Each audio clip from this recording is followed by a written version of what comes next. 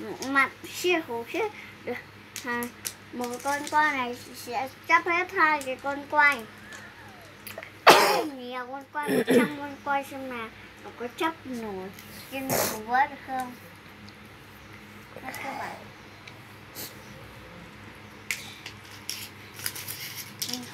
Mình- video cho các bạn. Con rất là mạnh này. Đấy là cái cái quay mà mình chưa kỳ bởi nó rất là giống hình tròn nhưng nó quay nó thành hình tròn Đấy. Này.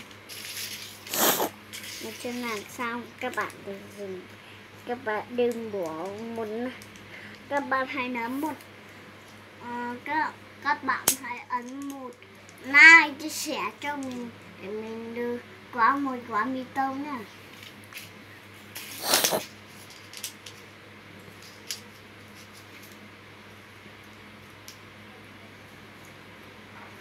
Rồi, chiến này. Chiến này rất là kinh khủng.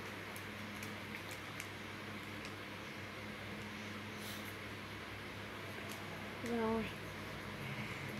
Trong con này đồ nhá. Chạy. Một lần cái qua này bị sát thương một tí, nó không hề bị sát thương. Được chưa Oh my god. Hiện này nó vẫn chưa bị thương người luôn